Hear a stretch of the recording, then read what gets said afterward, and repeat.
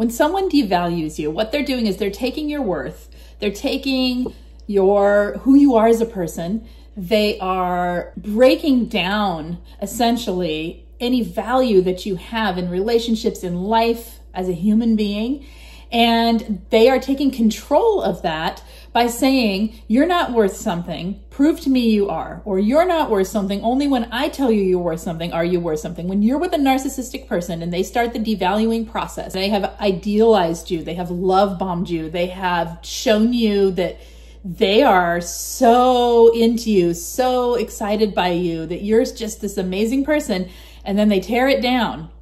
That is the devaluing. That is when the relationship has shifted and you are now with this narcissistic person in the love bomb devalue cycle of the way narcissistic people relate in relationships. My name is Lise Colucci and I am here to help you understand and recover from narcissistic relationships. A narcissist will place you up on a pedestal and then knock you off. Why do they do that? They do this in order to maintain control of the relationship so that you do not question them, so that when you question them, they can come back at you with something bad about yourself. A narcissist gains control in a relationship when you are spinning out of control. When you're trying to prove yourself in the relationship or who you are or what you said, when you are trying to defend yourself and show your worth, when you're trying to get it back to the way it was when they were love bombing you and it was happy times, the narcissist has control.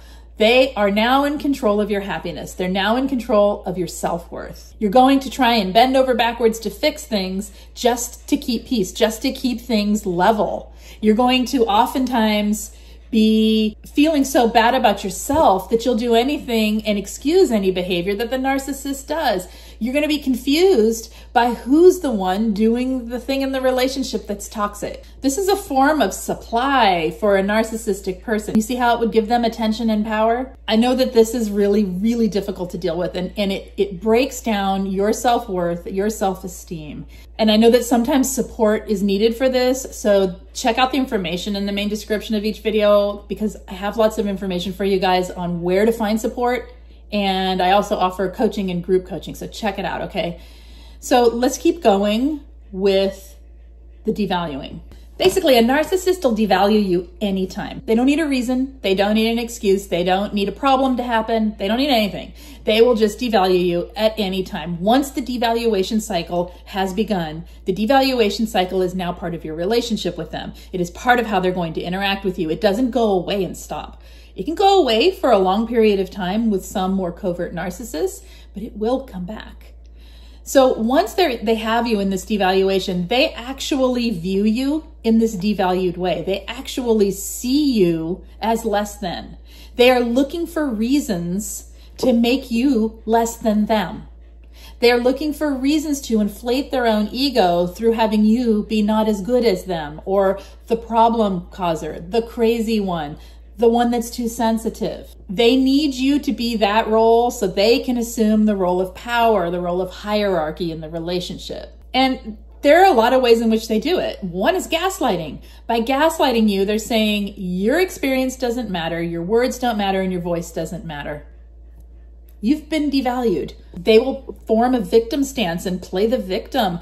They do this, makes you the perpetrator of problems and pain in their life and then you are devalued because you know you're actually not that, right? You know that you are the person who's been trying, the person who's been giving, the person who's been supporting the relationship.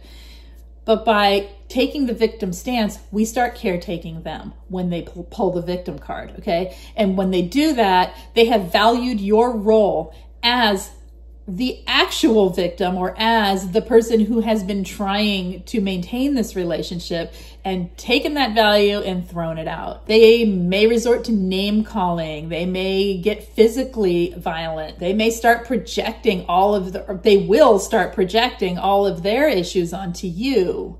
So they will preload a narrative by projecting what they're going to do or have done onto you or how they behave right? So many times people will tell me, they tell me I'm the one gaslighting, but I don't think I'm gaslighting. I think I'm just telling the truth. So yeah, they will do that projecting in order to devalue your worth in that moment so that what you say doesn't matter and what you say is irrelevant and wrong, which means they're right. It can be subtle, it can be cunning, and it can come out of nowhere. So when you have someone devaluing you, what do you feel? Okay, let me know what you feel in the comments. How about things like shut down, shut out, invisible, irrelevant, wrong, crazy, the problem, unseen and unsettled?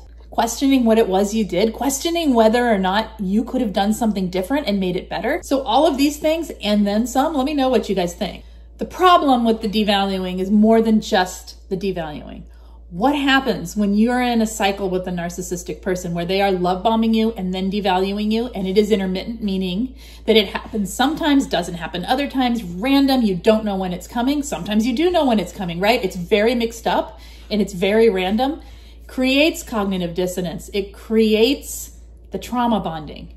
So the problem is this cycle becomes addictive to our brains because when they are devaluing us, one of the major things that's happening is we start chasing trying to make it better. We engage in the cycle and start activating our brains into trying to heal things, trying to make it better with this person, trying to stay safe from this person. Whatever it is, it's engaging. And when we engage, the trauma bonding begins to happen. And the more we do it, the deeper those trauma bonds get. Remember that when they love bomb you after they devalue, they are not showing you the truth. They are not showing you they're a good person. What they're showing you is a mask. They're showing you, look, I can put this on and do this if you behave.